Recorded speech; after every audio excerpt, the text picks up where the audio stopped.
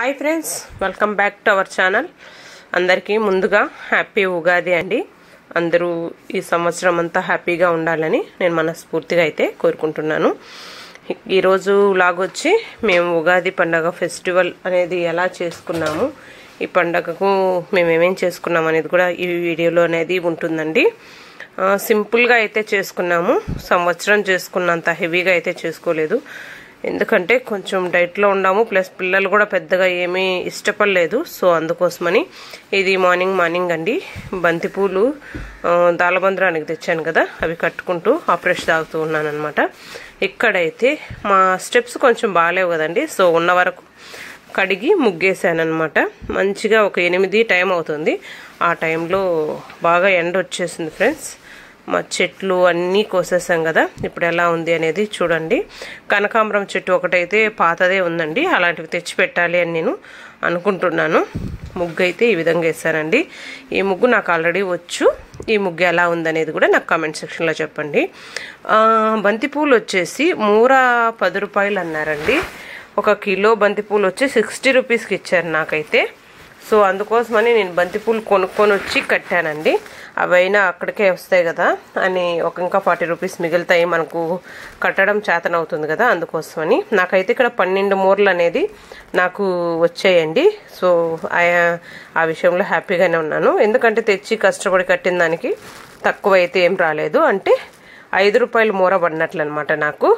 ఈ విధంగా ఓపిక ఉండేవాళ్ళు తప్పకుండా ఇలా చేసుకోండి ఫ్రెండ్స్ ఫెస్టివల్ టైంలో. ఎందుకంటే ఫెస్టివల్ టైంలో అన్ని ప్రతిదీ కొంచెం కాస్ట్ ఎక్కువగానే ఉంటుంది.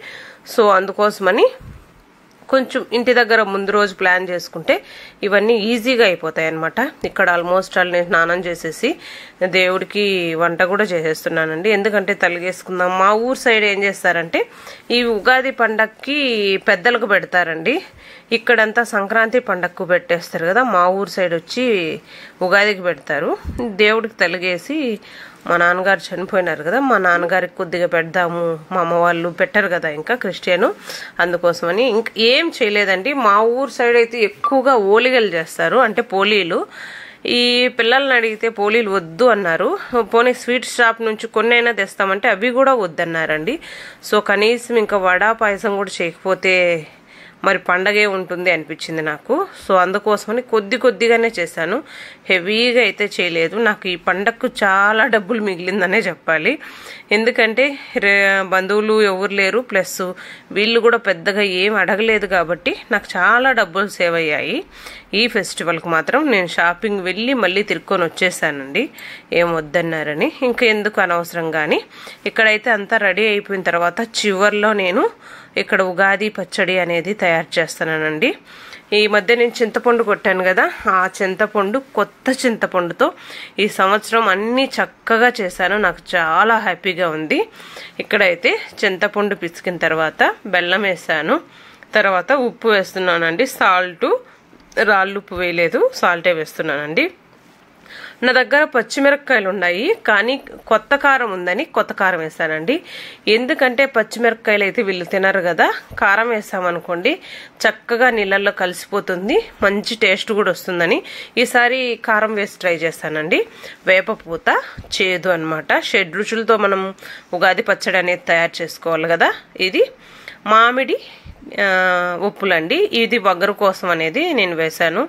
చాలా బాగా ఉన్నింది ఈ సంవత్సరం చాలా చక్కగా తిన్నారు కూడా ఉగాది పచ్చడి. సంవత్సరం కొద్దిగా తిని వద్దు అనేవాళ్ళండి. ఎందుకంటే పచ్చిమిరపకాయలు తగిలేవు కదా. ఈసారి అలా పచ్చిమిరపకాయలు ఏమీ లేకుండా చేశాను కాబట్టి మొత్తం పిల్లలు మా ప్రసాద్ అయితే చాలా బాగా తిన్నాడు. చాలా బాగా ఉన్నింది కూడా. ఎందుకంటే కొత్త చింతపండు బెల్లము కొత్త కారము మామిడి పిండి ఇవి చాలా బాగా అనిపించింది. ఈ అందుకేనేమో ఉగాది పచ్చడి అంటారు అనిపించిందండి. ఇంతకు ముందు అయితే చింతపండు కొత్తగా నాకు ఉండేది కాదు. ఏదో పాత చింతపండుతోనే చేసేదాన్ని. ఈరో ఈ సంవత్సరం అయితే కొత్త చింతపండుతో నాకు చాలా మంచిగా అనిపించింది ఫ్రెండ్స్. మీకు ఎలా అనిపించింది నా ఉగాది పచ్చడి? మీరు ఎలా చేసుకున్నారు అనేది కూడా నాకు కమెంట్ సెక్షన్లో చెప్పండి. ఈ శారీ చూసారా అండి? లాస్ట్ ఇయర్ నా బర్త్డేకి తీసుకున్న శారీ అండి. మళ్ళీ అప్పుడు కట్టుకునేదే తర్వాత నేను ఎప్పుడూ కట్టుకోలేదు ఈ శారీని. చూడండి ఆల్మోస్ట్ ఆల్ నా బ్లౌజ్ చాలా అంటే చాలా లూజ్ అయిపోయిందండి. ఎందుకంటే కొంచెం డైట్లో ఉన్నాను కదా హెవీ డైట్ అని నేను చెప్పను. ఎందుకంటే నేను హెవీ డైట్లో లేను.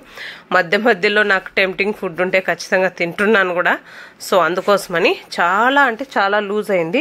నాకు నాకే ఆశ్చర్యమైంది. ఎందుకంటే నన్ను చూసిన వాళ్ళు చాలామంది నువ్వు ఇంకా తగ్గ తగ్గలే తగ్గనట్టే కనిపిస్తున్నావు అని అన్నారు.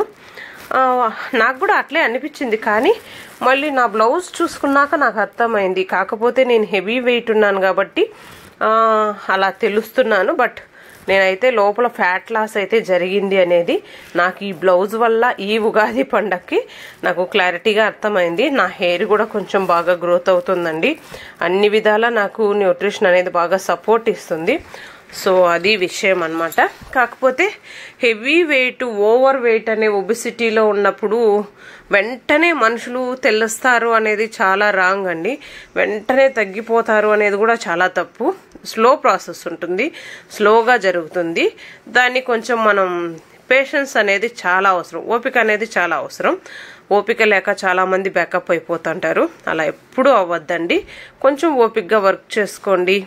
ఈ ఎండాకాలం ఇంకా కొంచెం వేరే వర్క్ కూడా చేయాలని నేను అనుకుంటున్నాను. కన్స్ట్రక్షన్ వర్క్ చేస్తూ ఉంటే కొంచెం తగ్గుతానని ఆ వర్క్ కూడా కొంచెం వెళ్తున్నానండి. మ్యాక్సిమం తగ్గాలి అని నేను అనుకుంటున్నాను.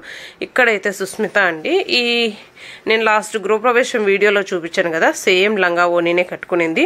ఒకవేళ పర్టికులర్గా ఇప్పుడు సుస్మితాని మీరు గమనించినట్టయితే తనకు ముఖం పైన ఉన్న పింపుల్స్ ఏవి ఉండవు. ఒకసారి చూడండి మీరు ఎవరైనా స్కిన్ గురించి కేర్ తీసుకోవాలనుకునే వాళ్ళు ఒకసారి చూడండి. తన ముందు ఒక టూ డేస్ త్రీ డేస్ బ్యాకే పెట్టాను. ఆ వీడియోలో కూడా చూడండి అది వన్ ఇయర్ బ్యాక్ ఇది one year after one year తర్వాత తనకు కూడా తనను కూడా న్యూట్రిషన్లోనే ఉందండి.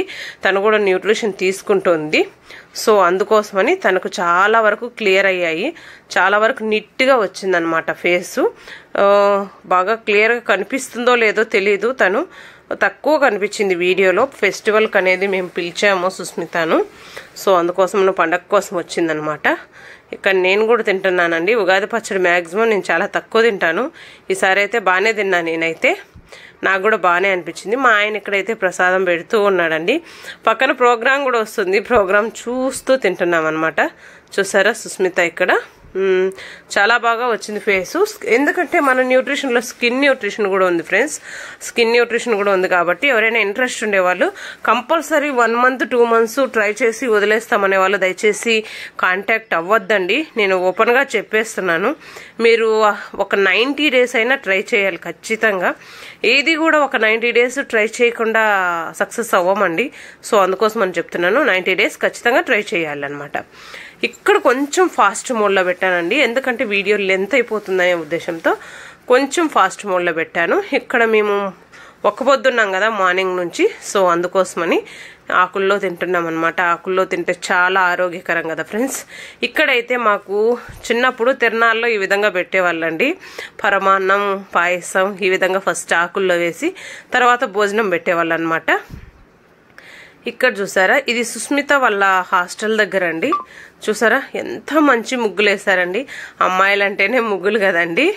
అమ్మాయిలు వేసే వాళ్ళకు బాగా ఐడియా ఉంటుంది. చూడండి ఇలాంటి ముగ్గులు అయితే పెద్దగా నాకు రావు. చుక్కల ముగ్గులే వస్తాయి. కానీ వీళ్ళు చాలా చక్కగా వేశారు. ముగ్గులు పోటీ పెట్టారంట. ఈ ముగ్గులు ఎలా ఉన్నాయి అనేది కామెంట్ సెక్షన్లో చెప్పండి. ఆబ్వియస్లీ నాకైతే చాలా బాగా నచ్చాయి. సో అందుకోసమని మీకు కూడా చూపిస్తున్నాను అనమాట అన్నీ ముగ్గులు కవర్ అవ్వాలి అని కొంచెం ఫాస్ట్ మోడ్లో పెట్టాను. చాలా చక్కగా వేశారండి. మంచిగా వేశారు. మీకు ఎలా అనిపించింది అనేది కమెంట్ సెక్షన్లో నాకు తప్పకుండా చెప్పండి ఫ్రెండ్స్ ఈ వీడియో కనుక మీకు నచ్చినట్లయితే కొత్త వాళ్ళైతే మాత్రం తప్పకుండా సబ్స్క్రైబ్ చేసుకోండి. మీ ఫ్రెండ్స్కు రిలేటివ్స్కి ఫార్వర్డ్ చేయండి ఫ్రెండ్స్ లైక్ చేయండి షేర్ చేయండి. మీరు ఇచ్చే లైక్ నాకు సపోర్టింగ్గా ఉంటుందండి. Thank you so much for watching bye friends